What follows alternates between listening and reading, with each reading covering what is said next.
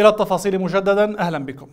أعلنت حكومة إقليم كردستان عن توفير الميزانية لحفر 104 آبار في أربيل و34 بئرا في ضواحي المدينة. بعضها عبارة عن آبار بديلة جفت وذلك لغرض مواجهة شح المياه ويأتي ذلك بعد موافقة رئيس حكومة إقليم كردستان مسرور بارزاني على حفر 138 بئرا من أجل حل مشكلة نقص المياه مؤقتا والحد من آثار الجفاف وتوفير مياه الشرب في أربيل عاصمة الإقليم. ونقل بيان صادر عن دائرة الإعلام والمعلومات عن مشرف الآبار في مديرية مياه أربيل سيروان تحسين صابر تأكيده إنفاق مليارين وثمانمائة وواحد وستين مليون دينار لأجل حفر الآبار ومن المقرر أن تكتمل العملية نهاية العام. وخلص بيان حكومة إقليم كردستان إلى القول أن نحو 70% من الآبار التي يتم إنشاؤها الآن هي آبار بديلة وتم تشغيل 14 بئرا منها في الضواحي حتى الآن. تستخدم هذه الحفارة لزيادة عمق هذا البئر بعد أن نضبت المياه فيه.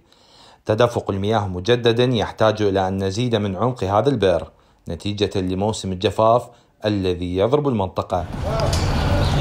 الحكومة المحلية في أربيل قررت مواجهة شح المياه بحفر عشرات الآبار الجديدة وخصصت لذلك ميزانية تزيد على العشرين مليار دينار. يعتبر هالسنة سنة جافة هذا الجفاف أدى إلى تجفيف عشرات الآبار الارتوازية داخل مدينة الأربيل وضواحيها وانخفاض منسوب المياه الجوفية في هذه المئات الآبار.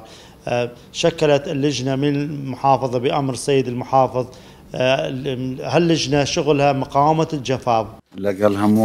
وعلى المدى الطويل تدرس الجهات المختصة إنشاء أربعة سدود في إقليم كردستان تمثل حلا نهائيا لمشكلة المياه مياه الشرب أو مياه سقي المحاصيل.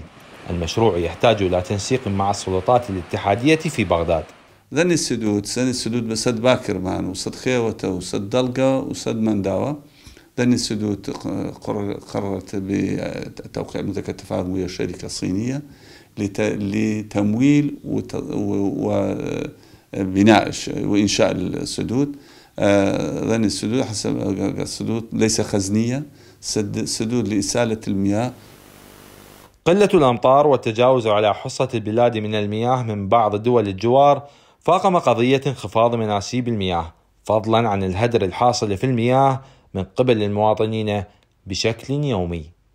من أربيل علي باسل قناة صلاح الدين الفضائية.